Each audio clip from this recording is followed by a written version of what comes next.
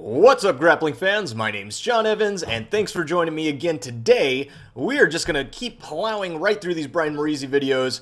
If you've been watching these all along, you've seen some phenomenal jiu-jitsu, for one, but for two, you saw how good he was in the first match, you should go check that out if you haven't seen it. And uh, if you haven't seen the second match, there should be a link right up here, or if you're on mobile, maybe it'll be in the description below. But also some really awesome stuff. It's just beautiful jujitsu, so uh, it's it's a joy for me to cast. I, I love it. I love watching it. I'm a fan.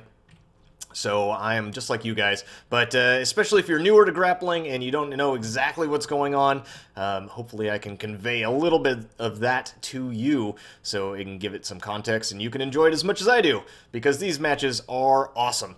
So without further ado, let's go ahead and get to this third and final match from the Nogi Nationals. This was a couple of weeks ago and this was with Brian Morizi in the finals. So this one's for all the marbles. See who comes out on top. Let's go check it out.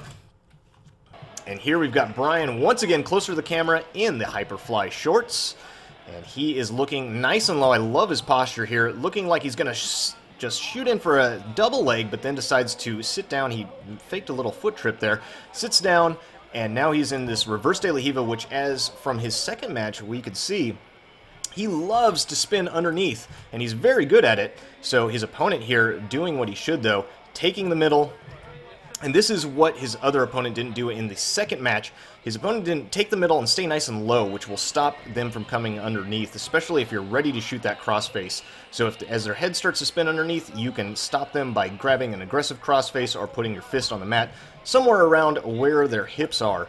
But Brian is still pulling right in here, and there he's looking for that single leg X slash footlock position. But his opponent is able to scramble right out of it. Now going for double unders here. But Brian's knees are nice and wide. This is going to prevent the double unders.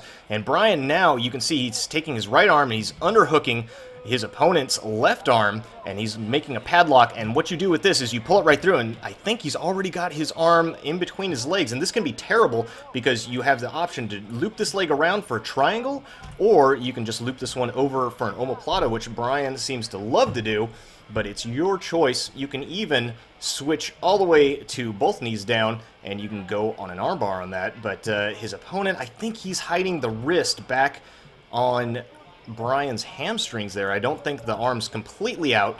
If it were, then Brian could attack that omoplata or triangle right away. And his opponent is able to get completely out, and now Brian is back to his seated up guard and they kind of go out of bounds a little bit, so the ref is going to restart them in the center. Brian's still taking his guard position, not even going to bother to stand up, which is the right thing because they were not in a standing position as they were out of bounds. So just restart in the center in the same position.